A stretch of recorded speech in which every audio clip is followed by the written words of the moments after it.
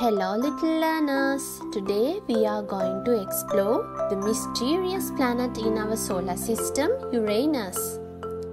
Uranus is an ice giant situated beyond the gas giant planet Saturn and before the distant ice giant Neptune. Uranus has a diameter of approximately 50,724 kilometers, making it the third largest planet in our solar system.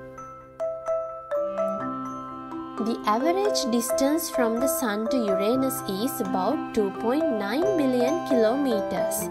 Uranus is the seventh planet from the Sun in our solar system. Uranus has rings too. They are not as flashy as Saturn's, but they add a touch of sparkle. Imagine being a ring around Uranus doing a cosmic dance in the chilly breeze. Uranus has a set of 13 known rings. The rings are composed of dark particles, possibly consisting of water ice and other organic materials. Uranus has a family of 27 moons, like having a bunch of space siblings.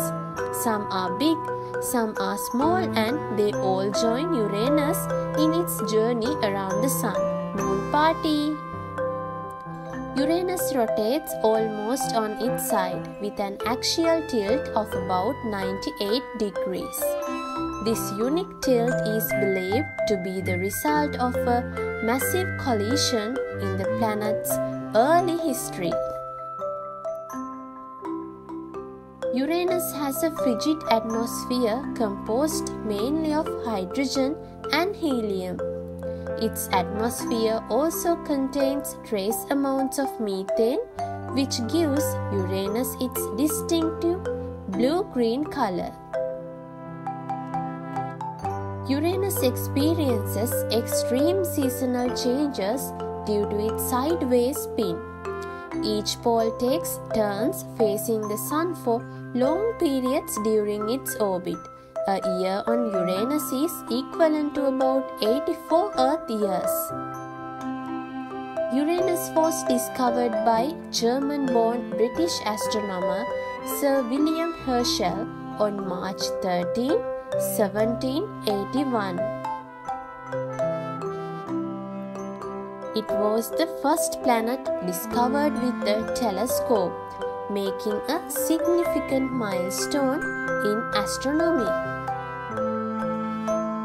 And there you have it, our Uranus adventure. From its unique spin to its chilly blue beauty and moon family, Uranus is a planet of surprises. I hope you enjoyed our cosmic journey. Until our next space exploration, keep dreaming big and don't forget to like and subscribe my YouTube channel. Thanks for watching.